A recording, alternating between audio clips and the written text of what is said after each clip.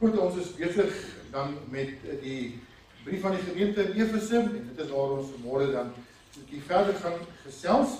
Uh, ons het gekom daar by Efesiërs hoofstuk 2. Ons het laas keer 'n baie interessante gedeelte ook daar saam gelees en terwyl van vanmôre is 'n tydsaspek.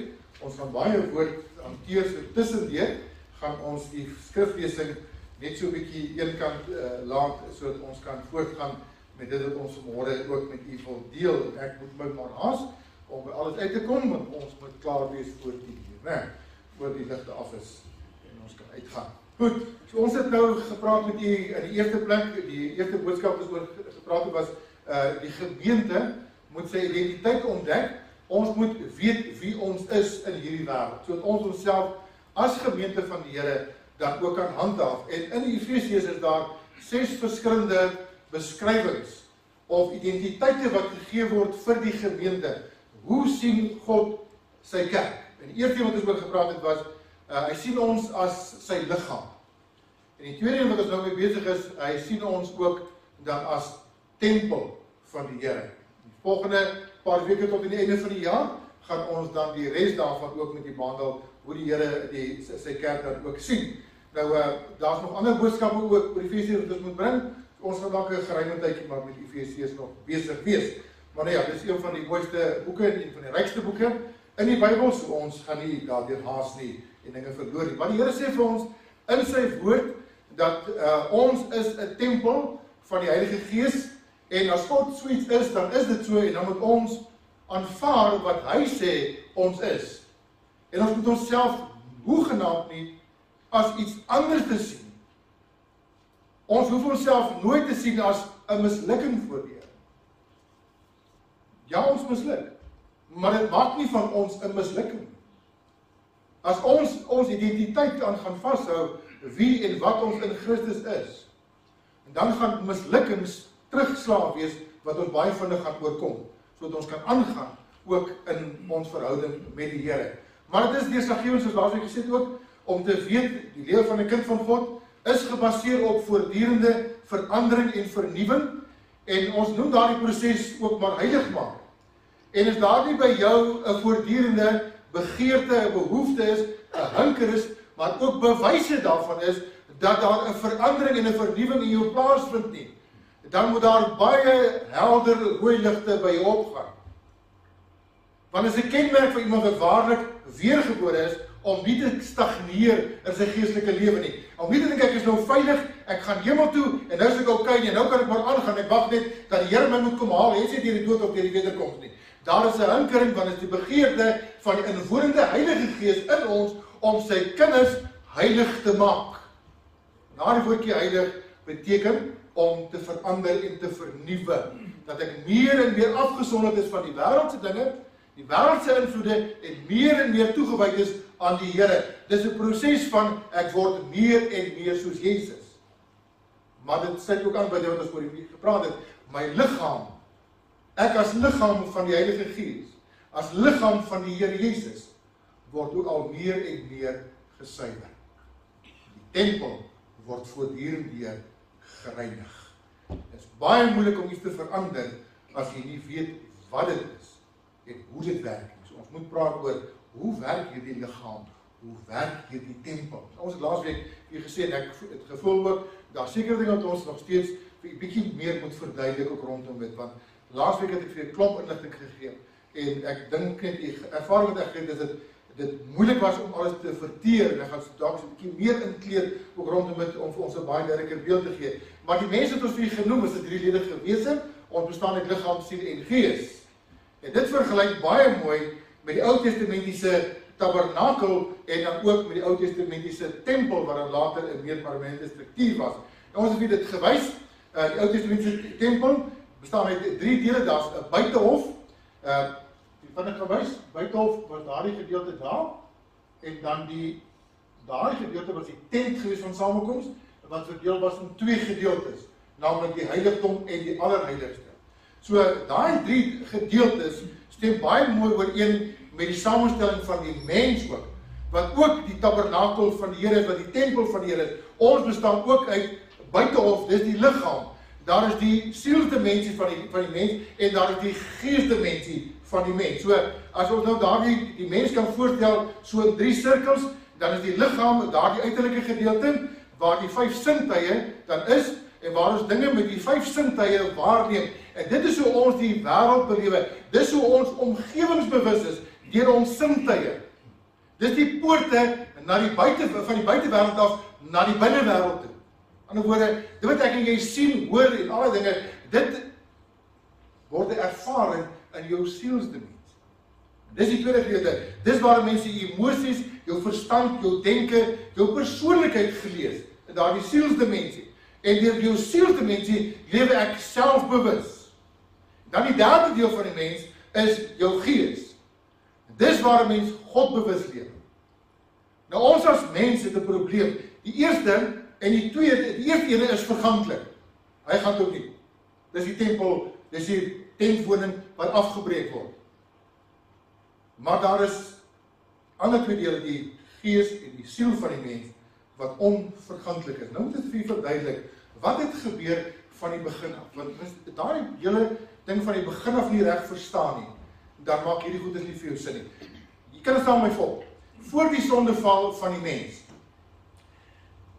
was die gees van die mens daardie innerlike sentrum van die mens was in volkomme harmonie met God gewees. Hulle het soos die Bybel sê met God gewandel. Hulle het God beleef. Hulle was in 'n verhouding met God. Maar toe kom die sondeval. En wat gebeur? Die see, die gees van die mens word verduister. Dit word uitgeblok, dit word afgesny en ons noem dit sy sy gees het gesterwe. Wat die woordjie dood beteken om te skei. En daardie oomblik toe die Adam en Eva sondig, toe word hulle van God geskei. Toe is hulle gees nie meer lewend vir God. Hulle kan nie met hom meer in gemeenskap wees. Hulle val uit gemeenskap met die Here. Die mens verloor sy Godbewusheid. Die mens verloor die beeld van God. Want die beeld van God is nie die uiterlike vorm nie. Die beeld van God is innerlike heiligheid en geregtigheid. En sedert daardie oomblik word niemand meer na die beeld van God geskaap nie. Maar na die beeld van die mens, die gefalle mens. Die beeld van Adam. Want die beeld van God is verlore, hy's dood. En dis hoekom wedergeboorte nodig is om daardie beeld van God in my binneste te herstel en ek weet ware geregtigheid antwoord in 'n regte verhouding met God kan kom.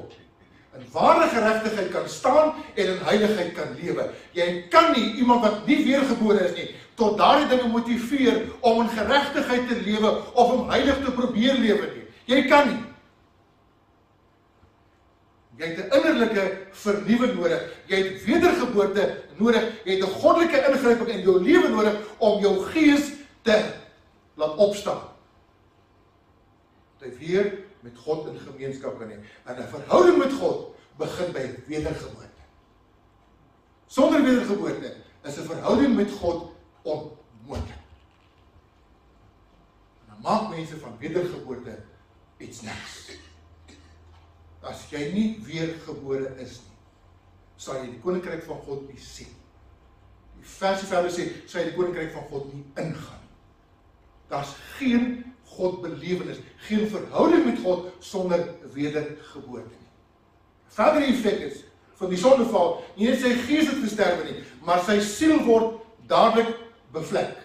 Daar dadelik invloed op sy sielsdimensie, dan gaan dit nie wys nie. En wat gebeur verder? Ewe skielik tree die dood ook in wat sy liggaam betref. Nou is die mens nie meer 'n onsterflike wese nie, hy's 'n sterflike wese. Dit gebeur alles met die sondeval, 'n radikale verandering wat dan plaasvind. So wat het by die val plaasgevind? Alles het begin by die liggaam, by die uiterlike. Hulle luister verkeerd. Kyk net hoe die vyf sintuie hier na vore kom. En wat veroorsaak het dat hulle gesondig het. Al vyf sintuie was eintlik hier betrokke geweest. Hulle luister verkeerd. Oor is nie reg ingestel nie. Hulle luister na die duiwel. Hulle luister na hulle self.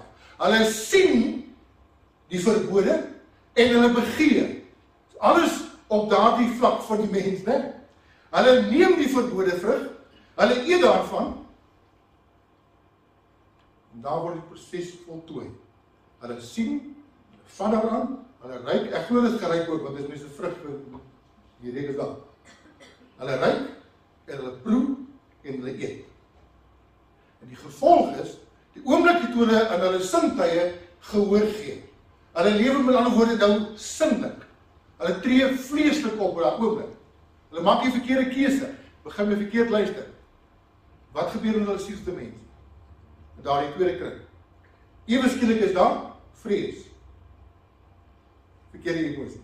Hulle vlug van God af. Hulle wandel nie in liefde nie. Hulle wandel nou in vrees. Hulle gaan kry weg vir die Here. Hulle sê ons is bang. Ons is bang dat ons die stem hoor. Uit verhoudinge. Vrees kom in. Hulle dink eraan wat ons het gedink. Hulle dink totaal verkeerd en hulle wil vlug. So met ander woorde, hulle gemeenskap met God verloor, hulle gees is verduister, hulle sterf in daardie oomblik op 'n manier in hulle gees en in hulle siel en in hulle liggaam. Hulle val nie dood daarmee nie, maar aan die binnekant gebeur iets drasties. Dood tree in. Hulle is geskei van God. Hulle is geskei van mekaar. Ewe skielik is jy nou blame shifting. Verhouding is verkeerd. Alles loop verkeerd. Elke aspek van hulle menswees. So, ons moet hierdie dinge in gedagte, dis waar hulle verkeerd gaan. 'n Mens se gees word, dis nou drie dinge wat ook belangrik is. By wedergeboorte word my gees herskep. Word ek lewend gemaak. Die beeld van God word in daardie oomblik herstel. En dis iets wat mense baie keer nie verstaan nie. Die oomblik wat jy weer gebore word. Oomblik wat ek my tot God bekeer en hy doen die werk van wedergeboorte en ek is 'n nuwe mens. Dan is ek in my gees. Hoor mooi. Is ek in my gees so volmaak soos Jesus. God kan niks verder op my gees doen. My gees is volmaak herstel staan in volmaakte status voor God. Dis my gees. Maar my sielsdimensie, my emosionele belewenis, my denke, my wil is al die jare bevlek gewees. En dit word nie so vinnig uitgesorteer nie. En dit is 'n proses om dit uit te sorteer. So wat gebeur daai oomblik wat ek gered word? Die beeld van God word in my gees herstel. My siel word gered vir die res van my tyd op aarde. In 'n proses van heiligmaking word my denke uitsorteer, word my wil uitgesorteer, word my emosies en al daai goedes uitgesorteer in 'n proses van heiligmaking om my sielsdimensie skoon te kry en Christus gelykvormig te kry. Gaan dit daarmee klaar op aarde? Nee. Dit gaan voort tot die dag wanneer ek doodgaan of wanneer die Here weer gaan kom. Maar dit bring my in lyn sodat ek soos Christus kan word. Hoe kan ek dit regkry? Om gelykvormig te raak aan sy woord. Om tyd met sy woord te spandeer is die enigste manier om my wil, my denke, my emosies in lyn met God te bring, in lyn met die Bybel te bring. As jy die Bybel verwaarloos, verwaarloos jy die proses. Stop jy baie keer die proses. Kan die proses baie keer self 'n kind van God se lewe in reverse begin gaan. Ons moet terugval. En dan uiteindelik, die derde deel van my van my lewe. Onthou my gees word gered of is gered dat by wedergeboorte as jy wedergebore is. My siel word gered in 'n proses. My liggaam gaan gered word. By die dag wanneer Jesus weer gaan kom, dan sê 1 Johannes 3 vers 2, wanneer hy verskyn sal ons aan hom gelyk wees, dan gaan ons verheerlikte liggame ontvang. Dan word die derde deel van my mens wees ook volmaak herstel. Op daardie oomblik wanneer Jesus weer gaan kom, gaan ek gees, siel en liggaam volmaak voor God staan. Presies soos Adam en Eva in die begin gestaan het voor die sondeval. En dis waarvoor Jesus na hierdie aarde toe gekom het om daardie goedes in plek te sit. En hy's besig met jou en my met hierdie dinge. God het my verlede hanteer. Hy's besig met my hede en hy verseker vir my toekoms. Natuurlike mens. Presies, wat van die natuurlike mens? Dan praat ek van die ongeredde mens, van die mens wat nie weergebore is nie, word van buite af beheer. Maar dan word dit wat hy sien, dit wat hy beleef, dit wat hy hoor, al daai goede wat hy hierdie sintuie waarneem, dit beheer die natuurlike ongeredde mens. Dis 'n fout, 'n gruwelike fout as 'n kind van God op daardie dinge weer daardie dinge beheer word. Die wêreld daar buitekant, ongeredde word daardie beheer. 'n Kind van God word van binnekant af beheer deur die Gees van God. Dis hoekom Galasiërs 5 vir ons sê ook, die Gees staan teenoor die vlees en die twee staan teenoor mekaar. Hulle begeer te mekaar. Wie voed jy in jou lewe? Gees of vlees? Die Bybel sê met die vlees kan God nie behaag nie. Maar ons is as mens so ingestel op die vleeslike dinge, op die liggaamlike dinge, op die natuurlike dinge. En ons gee bitter min weinig aandag aan ons geestelike van ons mense, die belangrikste. Dat my sielste mense uitgesorteer word hier op aarde.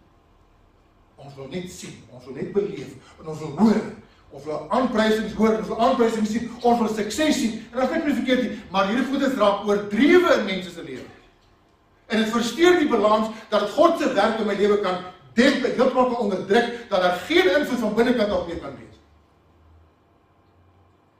Daarom moet ons vervul word en vervul wees met die Heilige Gees sodat hy seggenskap in my lewe het, sodat hy van binnekant af my kan beheer en kan beïnvloed en ek nie van buitekant af deur my sintuie alles belewe.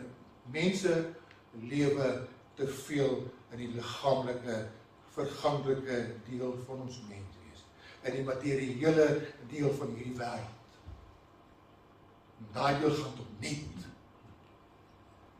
Ons spandeer al ons tyd en al ons geld en al ons aandag, alles spandeer ons op dit. En dit laat ons goed voel as daar sukses is. As daar prestasies is. Maar ek steek vas by die woord van die Here wat sê die vlees kan God nie behaag nie.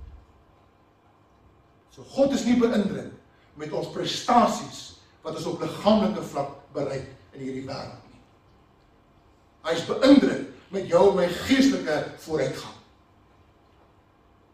Hy is beïndruk en is daarop ingestel dat ek en jy in ons sielkundige dimensie moet uitgesort word. Ons maak goed is by mekaar in hierdie wêreld. Dit wys vir ons waar opereer ons as mens op die sigbare sintuiglike vlak. Die Bybel noem dit sinsgenot. Dis in ander woorde die genietinge van die senses van die sintuie. Ons moet wegkom daarvan. Ek sê nie los alles nie. Maar waaragtig, daar's baie keer baie kinders van die Here se lewens is daar 'n totale wanbalans wat dit natuurlike mens van buitekant af beheer. Geestelike mens van binnekant af beheer. God se wil vir die mens is om hom te verheerlik en is alleenlik moontlik as ons van binnekant af met God gevul is. En dis presies wat Efesiërs 2 vers 1 sê. Die hele tyd lewend gemaak wat dood was. Jy kan lewe, jy kan biologiese lewe hê. Ons almal ontvang dit by weder by geboorte. By ons eerste geboorte. Maar niemand ontvang geestelike lewe by geboorte nie. By weergeboorte alleen. Daar's 'n tweede geboorte nodig. Gaan lees in Johannes 3 vers 3 vers 3 en in vers 5. Onder andere. Twee geboortes. Want as ons mekaar geskei, niemand op hierdie aarde word geestelik reg gebore, lewend gebore nie. Niemand. almal by wedergeboorte uitkom. En as jy dit nie uitgekom het nie, daar uitgekom het nie, sê die woord van die Here, nie ek sê die woord van die Here sê die koninkryk van God nie sien nie. Nie ingaan nie. So. Oomblik as ons lewend gemaak is, dan kan ons die Here begin dien in gees en in waarheid met ons diepste mens wees. So die drie heilige mense is dis in totaliteit. Dis wat ek nou moet verstaan hierdie liggaam, siel en gees is in sy totaliteit 'n tempel van die Here. Net soos die uitleg van die Ou Testament was, die hele tempel was geag daardie prentjie wat ek vir gewys het. Dit was nie die, die allerheiligste wat tempel was nie of die net die tent van samekoms nie. Die hele struktuur buitehof, heiligdom, allerheiligste was alles gesamentlik geag as tempel van die Here. En net soos ek en jy ook, liggaam, siel en gees is ons tempel van die Here. Wat moet nou met my en jou gebeur? Presies wat Romeine 12 vers 1 en 2 vir ons sê. Ek vermaan julle dan broeders by die ontferminge van God dat julle julle liggame stel as lewende, heilige en aan God welgevallige offers. Dit is julle redelike goddiens en word nie gelykvormig aan die wêreld nie. Maar word verander. Waar? Word verander deur die vernuwing van julle gemoed, denke, wil word verander deur die vernuwing van julle gemoed sodat jy kan verstaan wat die goeie en welgevallige en volmaakte wil van God is. Dis 'n proses waar my denke moet vernuwe word wat ek my denke met ander woorde in lyn moet bring met wat God sê wie ek is. Nie wat ek en jy dink ons is nie of wat ander vir ons sê ons is nie, maar wat God sê wat ons is. Bring dit in lyn daarmee. En die oomblik as ek dit in lyn bring met God se uitsprake, begin daar 'n belewenis te kom volgens God se uitspraak. Voortdurende proses. Paulus het nodig geag om vir verskeie gemeentes 'n vraag te vra. En sekere stellings wat hy maak in 'n vraagvorm oor te draai sê of weet julle nie dat julle liggaam 'n tempel is van die Heilige Gees wat in julle is, wat julle van God het en dat julle nie aan julleself behoort nie, want God het die totale mens liggaam, siel en gees het hy teruggekoop uit sonde. Ons was almal, die Bybel sê ons was verkoop onder sonde. Uitverkoop. Wat moes gebeur? Jesus het gekom in die kruis het ons teruggekoop. En ons is sy eiendom. Hy betaal nie met silwer en goud nie. Hy betaal met sy lewe om ons terug te koop. Verheerlik God dan in julle liggaam en in julle gees wat aan God behoort. Interessant baie keer dat mens net lees van liggaam, gees en baie keer lees jy van die siel, maar konteks maak baie keer 'n groot verskil. En as hy een plek sê liggaam en gees, beteken nie sluit die siel uitgesluit. Ander plekke word die siel weer in verband gebring. So dis 'n totale begrip, moenie daaroor struikel nie. Romeine 6 vers 13 sê en moenie julle lede stel. Watter lede praat hy van? Wat nie van die gemeentelede nie. Hy praat van hierdie liggaam. Hy praat van hierdie fakulteit. Hierdie liggaam hier met al sy werkinge. Sintuie, wil, gemoed, denke, alles. Moenie julle lede stel tot beskikking van die sonde as werktuie van ongeregtigheid nie, maar stel julleself tot beskikking van God as mense wat uit die dood lewend geword het. Wat 'n dood praat hier van? Geestelike dood. Die dood wat ek en jy ingebore is, afgesny van God. Gees geskei van God. En jy stel julle lede, in ander woorde daardie fakulteite van die liggaam as werktuie van geregtigheid in diens van God. Dis jou en my opdrag. Dis wat die Here vir my en jou sê. Die Ou Testament is 'n tempel was dis 'n heilige plek van ontmoeting met God, 'n plek van aanbidding, 'n plek van gebed en reiniging in God se teenwoordigheid. In die Nuwe Testament word daar aan die gemeente, maar ook na elke afsonderlike lid verwys as tempel van die Here. As jy vanmôre sê ek is 'n Christen, ek is weergebore, ek is 'n kind van God, dan is jy 'n tempel van die Here of jy dit nou wil weet of nie of jy dit nou wil aanvaar of nie, God se uitspraak oor jou en my as kind van God, as waarlik weergebore is, jy is tempel van die Here. Nou moet ons in hierdie tempel optree sodat ons in die tempel van die Here sigbaar sou optree. Ek het jare terug 'n traktaatjie gelees van oom van 'n man. Dink jy al 'n storie vertel maar vertel maar weer vir die wat Jesus nie hier was. En vir ander wat vergeet van 'n uh, 'n man wat ter dood veroordeel was in Windhoek. So ek dink dis wat wat jy onthou van ewe dood veroordeel word. En in daai tyd maak hy sy saak met God reg en hy kom waarlik tot bekering. Hy word weergebore, maar hy het 'n stryd met sekere dinge in sy lewe. Onder andere sukkel hy met die rookgewoonte. Ek weet ek mos moet nie net een ding uitsonder uitsonder baie keer vir mense, maar is tog dis belangrik. Vat dit vir enige ander sonde. Die beginsel wat jy gebeur het, dit is plaas. Hy praat met 'n geestelike werker, oom Kilian, wat destyds vir die AEB gewerk het ook. En hy was 'n AEB werker gewees, Afrika Evangeliese Bond daar in Wind. En oom Kilian het hom altyd gaan sien in die tronk. Hy met hom gepraat en vir hom geestelik bearbei en vir hom gehelp om geestelik te groei. Daai dinge. Dis kom eendag en hy sê vir vir meneer Kilian, hy sê, uh hy sukkel die ding dat hy rook pla vir hom verskriklik. En hy weet hy met een van die dae met hy gaan hy geld glo en hy gaan gehang word uit vrede daarmee gemaak, hy het reg op bind. Maar hier ding pla vir hom dat hy dit doen. Want hy glo dat sy liggaam en sy hele menswees 'n stempel van die Here. Om Gideon vra vir hom 'n eenvoudige vraag. Hy sê vir hom: "Uh sal jy terwyl jy binne in 'n kerkgebou sit 'n sigaret opsteek en rook?" Sê my toe, ek sal dit nooit doen nie. Hy sê nou kom toe nie in God se tempel wat nie brande gemaak het. Hy sê dankie ook. Hy los alles net daar aan. Vrede en dit deurbrak en dadelik vat hy die waarheid en maak sin en so aan die volgende dag of twee toe gaan hy galg toe. En terwyl hy stap, weggelei word om gehang te word, toe sing hy, ek kan hoor my heiland roep my. Deurbrak. Besef ek is tempel van die Here. Wat jy met jou liggaam doen, doen jy met die tempel van God moenie God se tempel onteer of nou liggaam, siel of gees is. Leef heilig. En jy verstaan hoekom die Here sê dat enigiets buite kan die huwelik is boerery. Want dit is 'n goddelike instelling.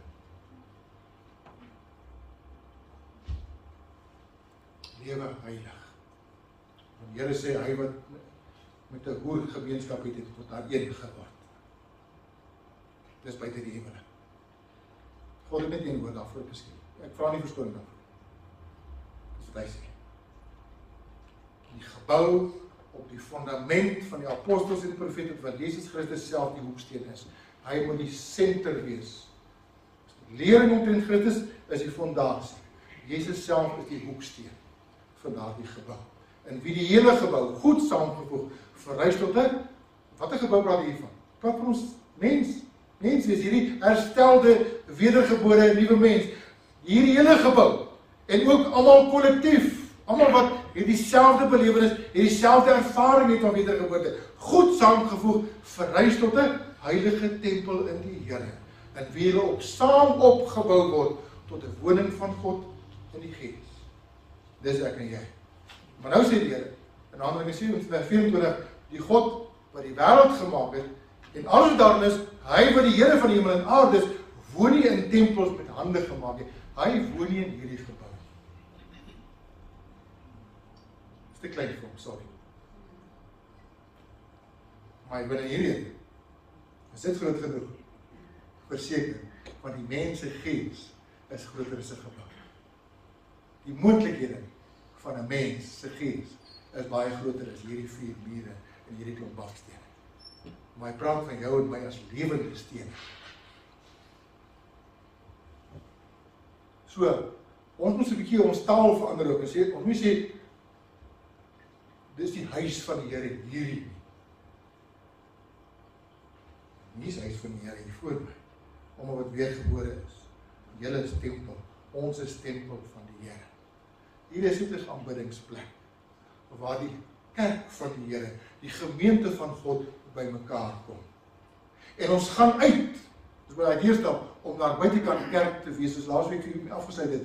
Destyds het almal van oor die wêreld kerk toe gekom, tempel toe getrek in Jerusalem en het daar 'n belewenis by die tempel gehad. Wat doen die Here in die Nuwe Testament? Hy keer die volgorde om en hy sê, "Nou vat julle die tempel wêreld toe." So hier het net 'n plek geword waar ons saamkom aanbid waar ons saam geleer word, saam toegerus word, gemeenskap kan belewe sodat ons uiteindelik daar buitekant kerk kan wees. Groot verskil. Baie mense hou kerk. Dis pligspleging. Mens doen terwyl jy jou gewete. Om kerk te wees is terwyl van 'n verhouding. Op grond van wat God sê. So. Genoeg vir inleiding. Verander so 'n bietjie beter. Hoop so. Laasweek het ons vir julle genoem, daar's so sewe ses verskillende ses sewe, ek kan nou seker nie, uh, as nou uitkom. Uh punte wat ek vir julle wys, die eienskappe van die tempel, van die tabernakel in die Ou Testament en hoe ons dit baie mooi kan deurtrek na jou en my ook as tempel van die Here. En eerste wat ons oor gepraat het was dat die tempel in die Ou Testament was die tabernakel was 'n heilige, afgesonderde, toegewyde plek. Met die klem op plek. Nou in die Nuwe Testament is jy en ek daardie tempel. Nou word jy en ek heilige, afgesonderde, toegewyde tempel van God. Daar's ooreenkoms. En dis wat ons lees daar in Korintiërs 3 en hoofstuk 6. Die Ou Testament was die tempel 'n plek van gebed. Waar mense byeenkom om te bid. Dis wat Jesus gesê het in Markus 11:17 en hy het geleer vir hulle gesê, is daar nie geskrywe, maar huis moet 'n huis van gebed genoem word vir al die nasies nie. Die vraag wat ons te vir gevra, hoe lyk ons gebedslewe? As die destydse tempel 'n plek was waar daar gebid is, hoeveel te meer moet hierdie tempel in gebed toegewy wees? Maar gebed het vir meeste kinders van Here, vir baie Christene vandag, 'n laaste uitweg geraak. Probeer eers alles. En as dit misluk, dan sê ons, nou sou ons maar moet bid. Nou kan ons maar net bid. Het jy al gehoor mense praat so? Ek rul as mense so praat. Maar sê ek maar die laaste ding wat ons gaan probeer. Niks het anders gewerk nie. Dink mooi. As iemand vir my sê, ek vra hom 'n vraag oor iets in die toekoms of waar nie ons sal maar die Here moet vertrou. Dis wanhoop wat so praat. Ek sê weer ek raak in my gees raak ek ontstel as mense so praat. Maar sê vir my hulle glo nie regtig nie. Dis maar wensdenkery. Dis nie geloofsuitspraak nie. Geloofsuitspraak beteken ek weet die Here sal vir my voorsien. Ek bekommer my glad nie. Geloof praat so. Ja, ek sê sommer sien jong, die Here sal maar moet uithelp jong. Die Here sal maar vir ons voorsien. Ons moet die Here moet vertrou. Dis pateties. Praat nie so. Dis oortuig. En dit gebeur wanneer ek tyd in gebed spandeer met die Here waar ek geestelike deurbrake beleef in my gebedslewe, waar God my antwoord in my gebedslewe, dat ek kan opstaan van my gebedslewe en sê die Here het vir my gesê, die Here is my vrede gee, die Here het vir my gewys. Ek hoef nie te bekommer nie, ek weet. Gebed. Derde plek, iets oor gepraat het was die tempel in die Ou Testament is 'n plek van aanbidding. Aanbidding beteken nie ons sing 'n paar liedjies en dit is gou aanbid en dit is nie aanbid nie. Dis lofprys. Wat 'n deel van aanbidding is. Aanbidding is 'n lewenswyse. Wat nie net op Sondag plaasvind maar wat die res van die week ook in onderwerping en toewyding aan die Here lewe om hom te vereer. Dis aanbidding. Niemand vra vra en wonder of jy werklik waar aanbid nie. Hulle weet hulle sien dit. Aanbidding is nie bloot om te sing nie. Dit is 'n leefwyse waar ons God eerste stel en hom in alles verheerlik. Want jy is duur gekoop, verheerlik God dan in jou liggaam en in jou gees wat aan God behoort. Nou kom ons by die vierde punt. Dis nou alles nog deel van hierdie sewe gedagtes wat vir noem. In die Ou Testament was die tempel ook 'n plek gewees van offers en van geure. Nou jy vir jouself voorstel. Die wat rondom daai tempel geleef het. Daar is reukwerk voor die Here gebring.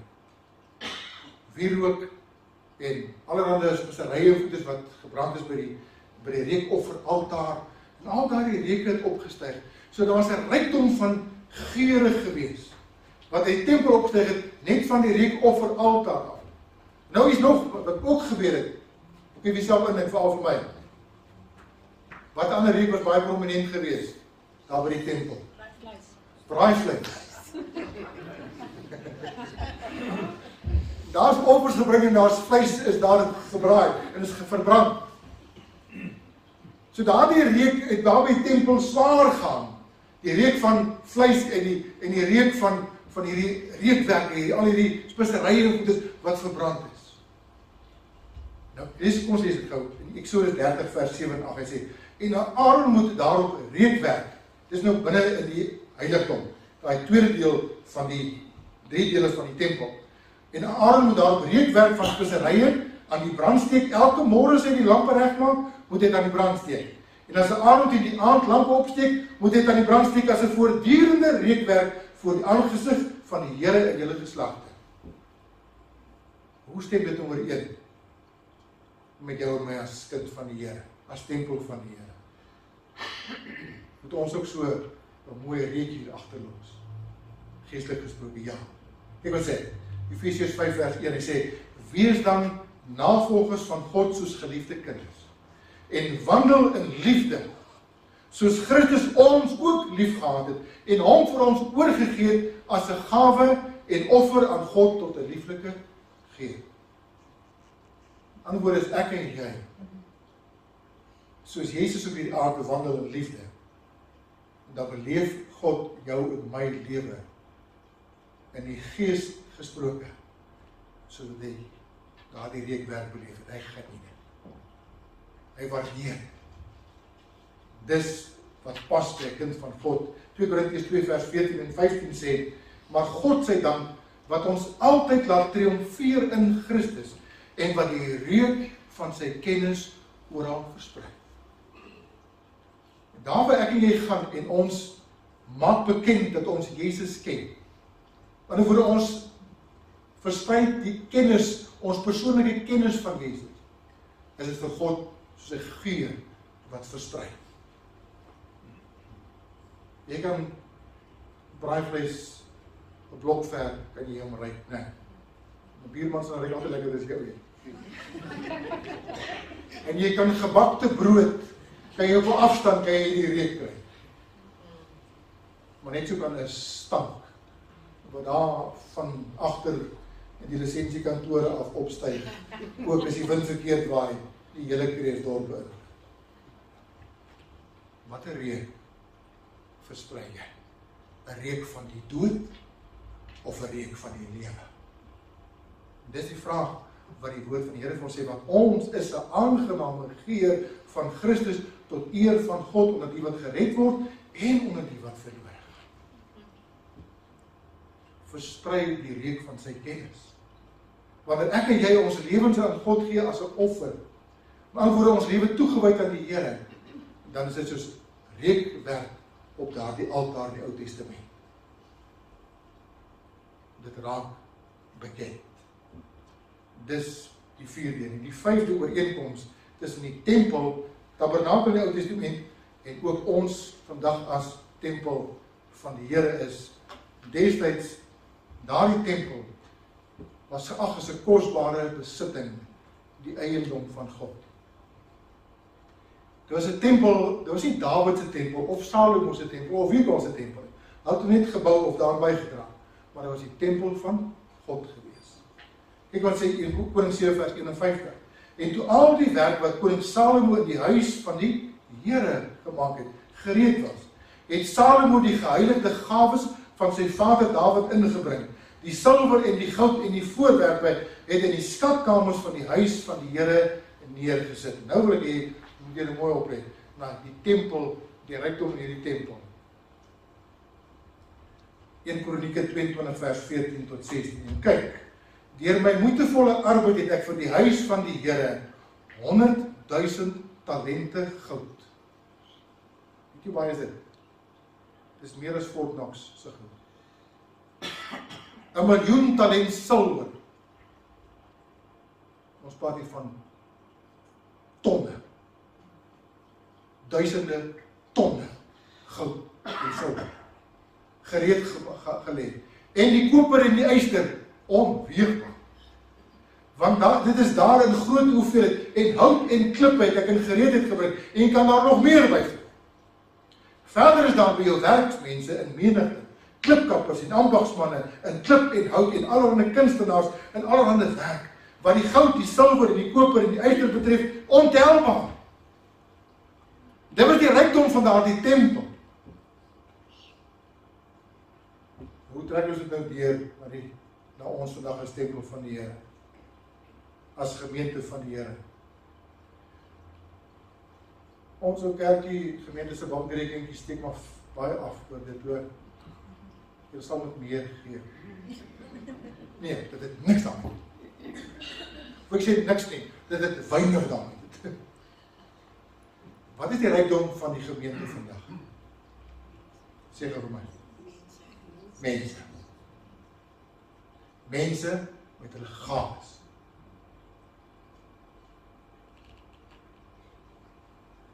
Die verskillende gawes word genoem in 1 Korintiërs 12 en Romeine 12.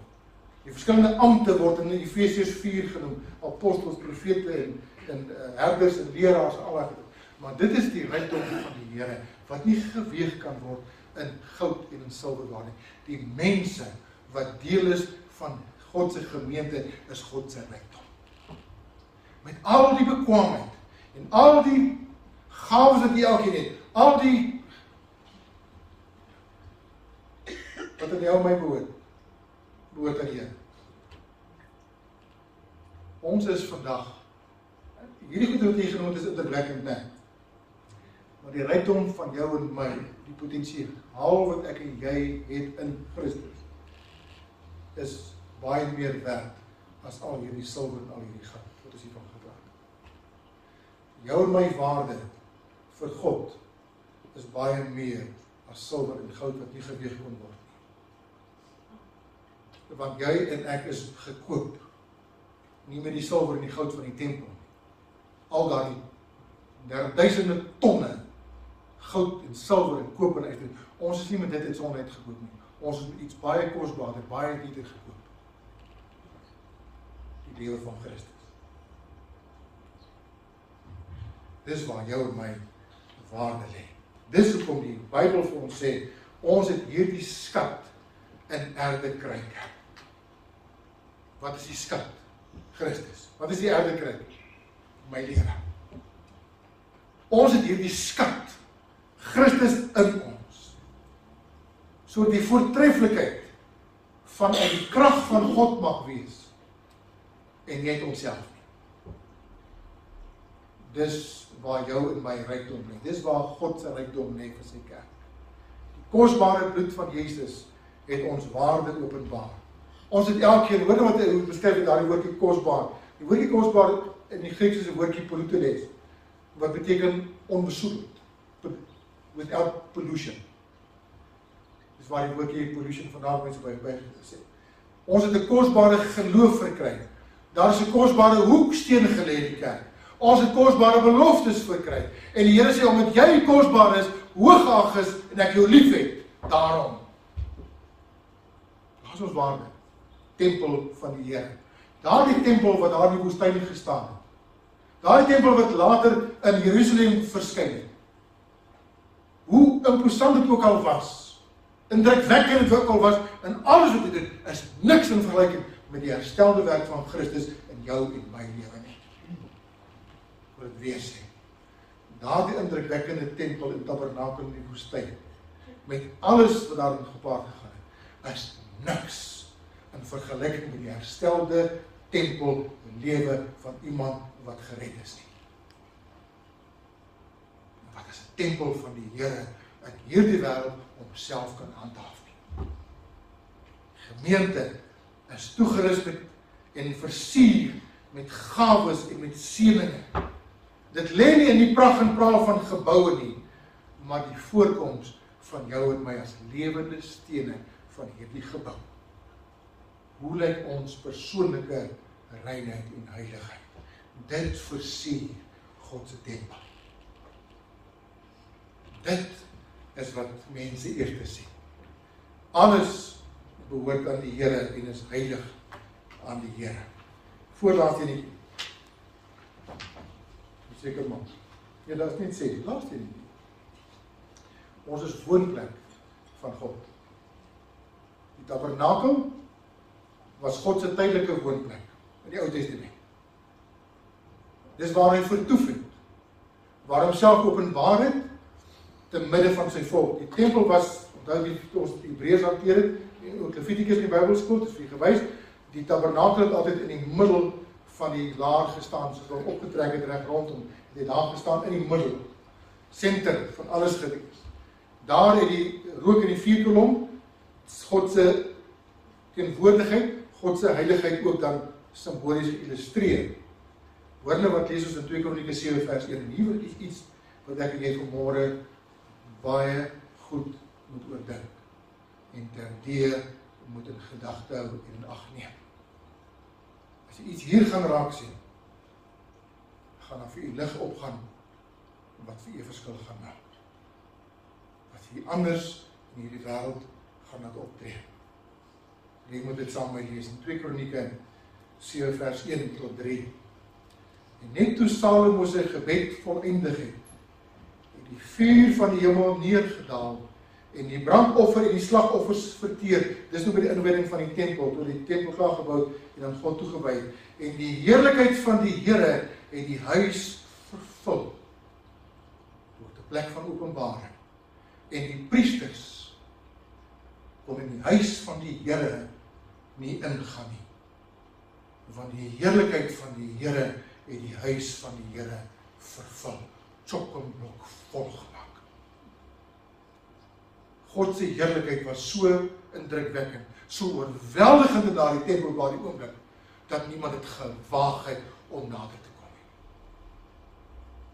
En toe al die kinders van God van Israel sien hoe die vuur en die heerlikheid van die Here op die huis neerdaal, het hulle gekniel met die aangesig na die aarde toe op die plaveisel en aanbid en die Here geprys dat hy goed is, dat sy goeie tierenheid tot in ewigheid is. Die dag as God vir jou en vir my in die hande gaan kry. En ons kom by 'n volle oorgawe op nuut dan uit. Sê Here, ek gee alles vir môre weer vir nuut vir U. Here, ek gee myself op nuut vir U. En dit gaan gebeur en dat God jou lewe so gaan vul dat jy nie anders sal kan lewe as op jou knieë nie. En aanbidding voor die Here nie. Dis die dag waarvoor ek die Here vertrou vir ons elkeen. Dat nie net eenmalig gebeur nie, maar dat jou en my belewenis sal wees voor die Here.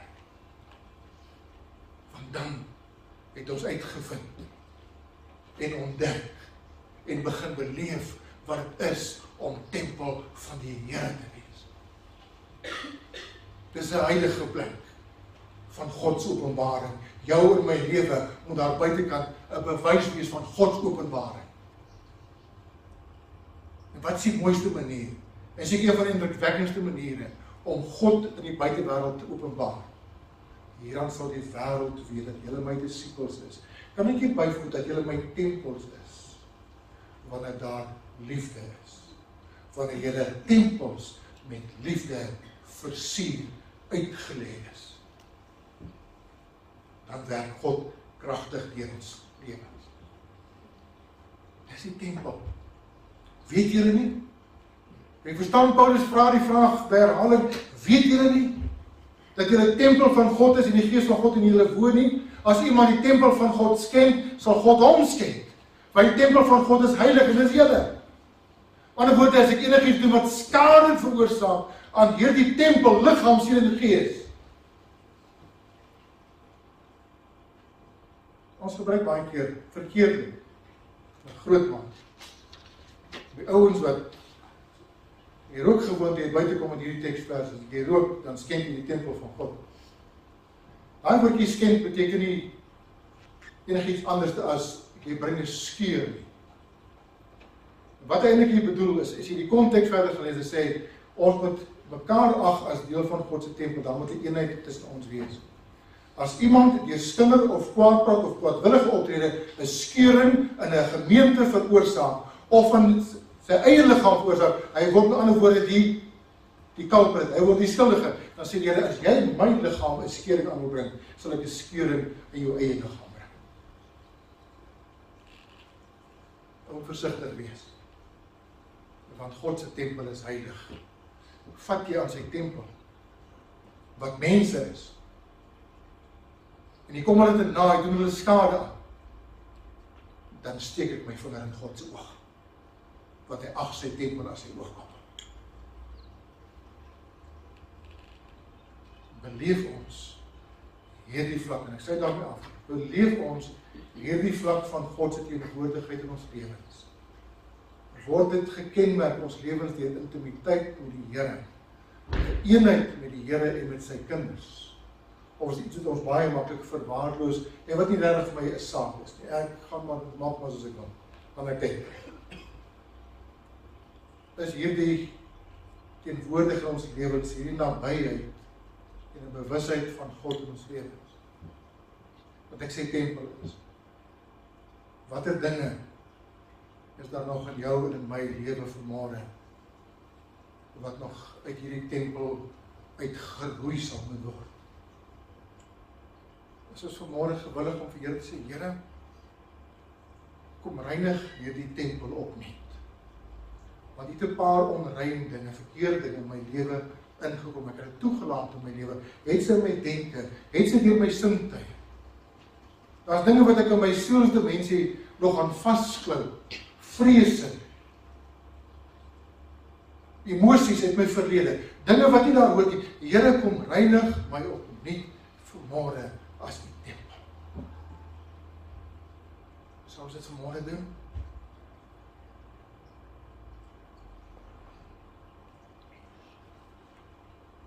God ken jou en my lewens as tempel. En jy weet vanmôre en ek weet vanmôre wat hoort nie in daardie tempel. Wat is daar om reg te maak?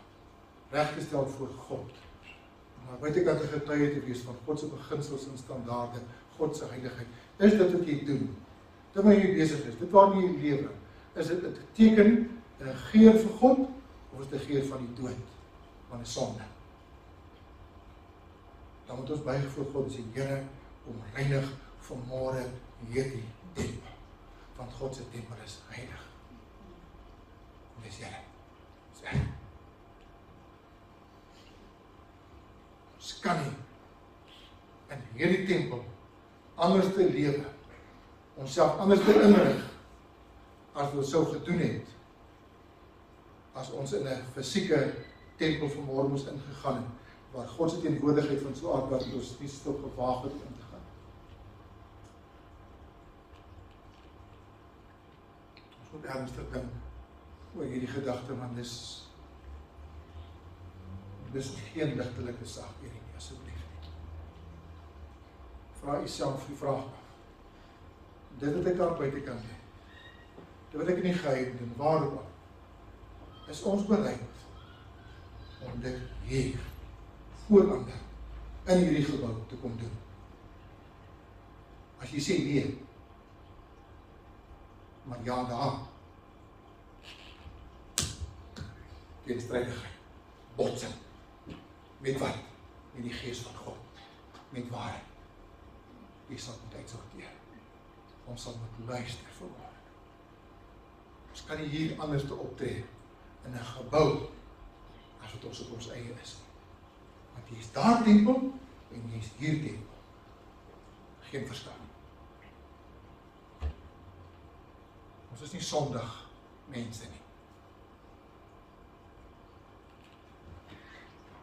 Tempel van die Here wees is nie 'n sondig saak nie. Dis 'n sewe dae van die week se. Amen. Kom ons maak besaad stil vir die Here.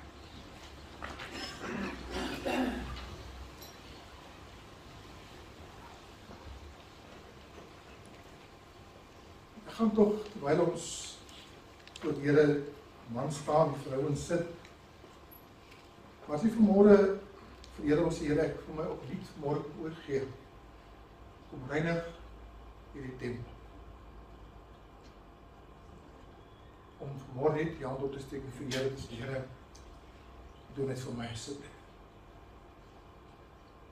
Is daar so iemand môre sê Here? Reinig. Haai. dan nog hierdie tempel behoort aan U. Ek het hom verontreinig. Kom maak hom skoon vanmôre. Nog iemand? Ons bid saam. Here, U sien ons hande. U ken ons hart. Ons is tempel van die Heilige Gees. En Here, ons moet vanmôre voor U kom buig en bely Hoe dikwels het ons hierdie tempel verontreinig deur denke, deur dade, soveel maniere. En Here het ons die heerlikheid van God in ons lewens uitgeweer. Maar bid ons vanmôre Here dat die heerlikheid sal terugkeer na hierdie huis. En ons elkeen afsonderlik wat vanmôre vir u sê, Here, ek het dit nodig. Ek besef dit. Ek kom buig voor u. Ek gee myself opnuut vir u. Here, u sien die hart. U sien die bedoeling agter elke hart. U ken die nood. Dankie Here dat u dit ook vir ons doen. Dat u dit haastig sal doen. As ons met u opreg gaan wandel. Dankie Here vir die voorreg. Die geleentheid om tempel van die Here te kan wees. Daar is saam 'n groot verantwoordelikheid. Maar Here, as U die tempel vul met U heerlikheid, met U heiligheid, met U self, gaan dit vir ons eintlik eenvoudig wees. Dankie Here dat saam met elke uitroep, elke uitnodiging is daar 'n antwoord. Dankie Here dat ons kan weet U wys niemand weg wat U te kom vir watter behoefte ook al. Want ons wil tempel wees. Ons weet dit. Ons weet dit nou beter glo ek as ooit tevore wat dit alles behels. Dankie Here dat U ons vul met U Gees om dit te kan wees. Amen. Dit te gaan uitgaan, so gaan nie liedjies sing nie. Dan moet ons van die krag af terwyl Johan speel en die klank gaan seer kry. So ek gaan terwyl jy so staan, dan almal sal staan en seer uitspreek. Enige iemand is wat gebed nodig het of vrae het, hulp nodig het, kan jy met my kontak maak. Stuur my 'n boodskap. Sal baie dringend sal ons weer daai kom maak, moenie moenie worry daaroor. Sal verseker. Dit is 'n belangrike saak. Dankie vir vanoggend die aandagtige luister en ook vir die reaksie. Die Here sien ons harte. Van die seën van die Here gaan sy vrede gaan leef as tempel van die Here. Die genade van ons Here Jesus Christus, die liefde van God die Vader en die gemeenskap van die Heilige Gees wees met u elkeen sodat ons tempel kan wees tot eer van God. Amen. Baie dankie.